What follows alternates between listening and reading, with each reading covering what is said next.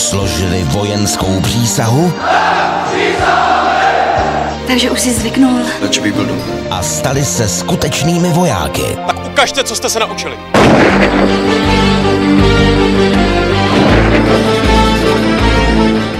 Chlapci a chlapy ve čtvrtek ve 2020 na Joy Family.